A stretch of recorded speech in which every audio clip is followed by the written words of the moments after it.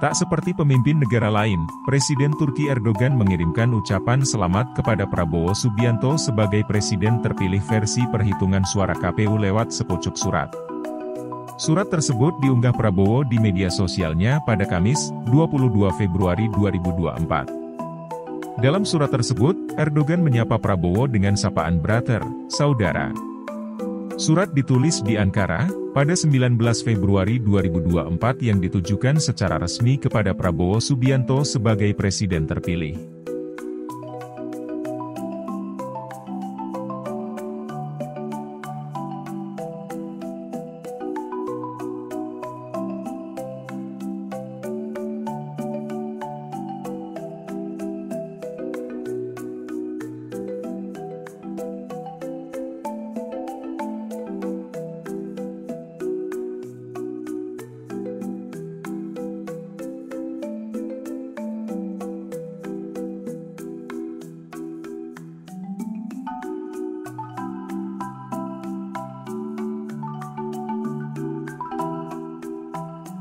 Download Tribun X sekarang.